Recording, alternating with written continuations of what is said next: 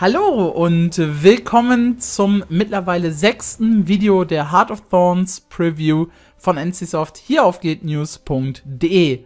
In dieser Ausgabe kümmern wir uns um einen der Vivan-Fights. Ich glaube, man spricht das Vivan aus, oder Vivan? Ich glaube, Vivan müsste richtig sein.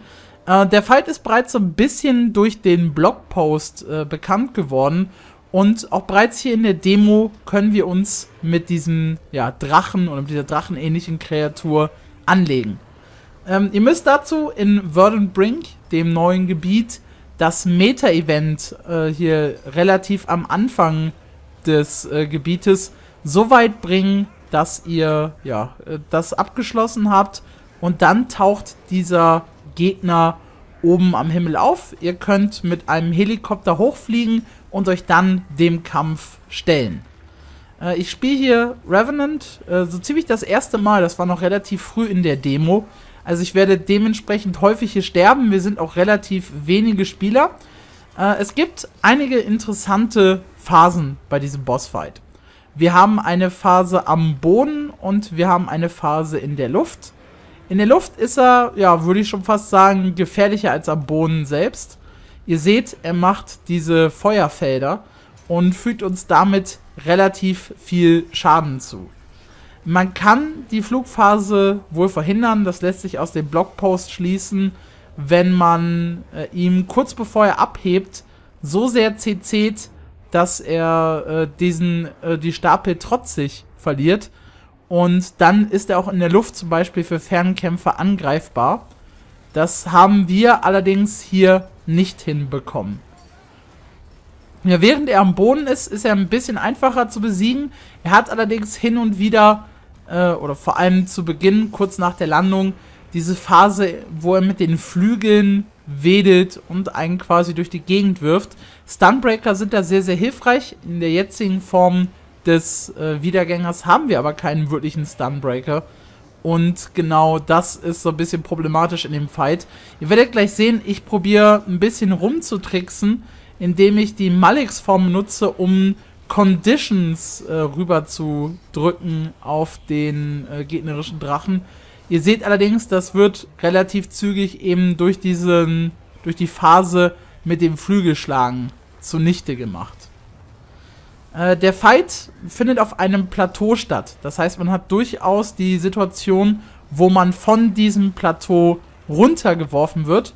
Man stirbt dann, äh, kann, äh, wobei, wenn man runtergeworfen wird und noch lebt, kann man tatsächlich mit den Gleitern äh, sich wieder nach oben bewegen. Das zeige ich gleich auch nochmal in einer Stelle, an der ich dann gestorben bin und neben die Plattform quasi springe. Äh, wenn man allerdings dabei im Downstate ist oder schon kurz vorher stirbt, muss man sich oben an der Wegmarke wiederbeleben. Ihr seht, ich habe tatsächlich noch nicht mal die, die, die Key-Bindings äh, für mich persönlich richtig gesetzt. Also dementsprechend, es ist halt eine, eine Preview und noch kein kompletter Guide für den Fight, aber es geht so ein bisschen in die Richtung. Man erkennt halt äh, sehr, sehr schön die unterschiedlichen Phasen, die dieser Bosskampf äh, tatsächlich hat. Ja, der Fight dauert in dieser doch sehr, sehr kleinen Gruppe relativ lange. Ich weiß nicht, wie das später aussieht, wenn man das tatsächlich mit 20, 30 Leuten organisiert macht. Hier haben wir jetzt gerade die Phase übrigens, wo man ihm den äh, trotzig Balken komplett wegschlagen muss, um ihn halt in der Luft überhaupt äh, damagen zu können. Man sieht dann auch die Veränderungen dieses Balkens, wenn man den Vivan noch im Target hat. Da haben wir nämlich äh, dann der sieht so ein bisschen aus, als wären da Schlösser vor, glaube ich. Ich glaube, das trifft es am besten. Und dann kann man ihn halt nicht mal damagen. Interessant auch, es gibt äh, Masteries, das habe ich in dem Mastery-Video bereits erzählt, äh, die einem in diesem Vivan-Fight tatsächlich helfen. Mit Harpunen unter anderem, die man äh, benutzen kann, um ihn dann aus der Luft zu holen.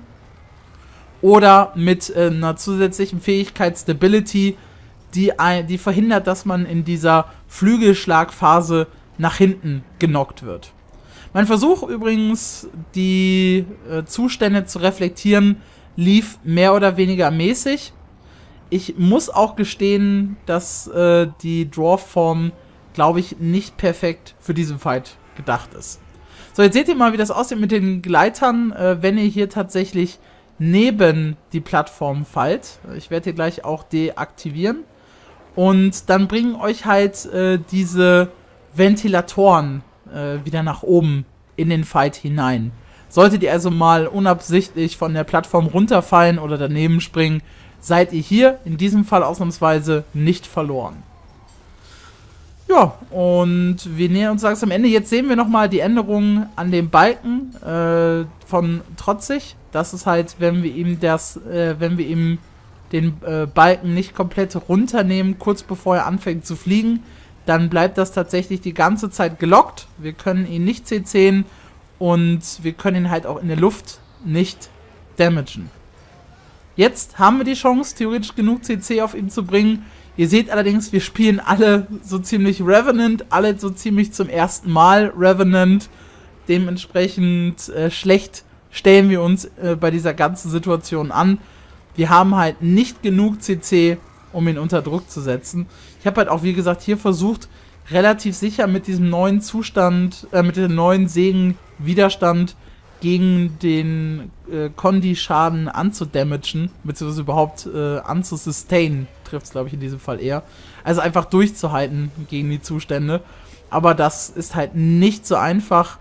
Äh, theoretisch habe ich auch Stability durch die Dodge Roll als Trade mit drin. Äh, das heißt, ich hätte Möglichkeiten äh, gehabt, mich äh, hier zu schützen vor diesem Flügelschlagen.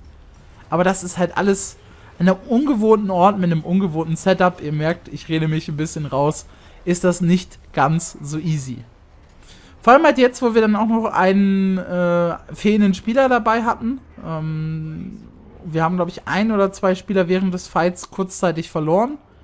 Und äh, ja, einige waren, sind halt immer kurz vorm Downstate gewesen äh, zieht sich das Ganze zum Ende hin nochmal ein bisschen in die Länge. Sehr, sehr schön gerade gesehen, wie der Drache angeflogen kommt, während wir hier halt selbst noch in diesem Gleitmodus sind. Ich glaube, ihr werdet mich noch zweimal tatsächlich sterben sehen, in den letzten Sekunden quasi, bevor der Drache das Zeitliche segnet. Es ist auf jeden Fall ein sehr interessanter Fight. Nicht so anspruchsvoll wie Tequatl, definitiv nicht. Äh, das sind auch nicht die Belohnungen, die man bei einem Tequatle bekommt.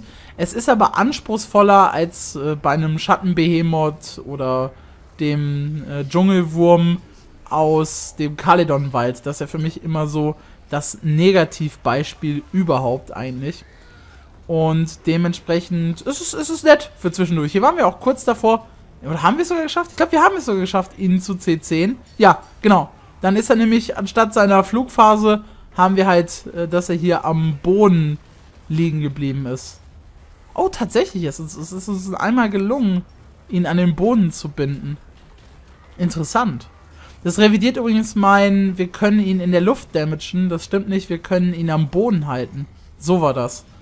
Ihr merkt, äh, manches geschieht hier noch aus der Erinnerung. Und nicht jede Erinnerung stimmt immer komplett. Also wenn man den äh, Balken trotzig wegbekommt, dann hebt er gar nicht erst ab. Und das erspart uns viel, viel Zeit. Ja, und damit haben wir den Boss jetzt auch besiegt. Es gibt äh, die klassische Eventbelohnung. Es gibt eine Wackeltruhe mit ein paar Belohnungen drin. 25 von irgendwas, was wir noch nicht kennen.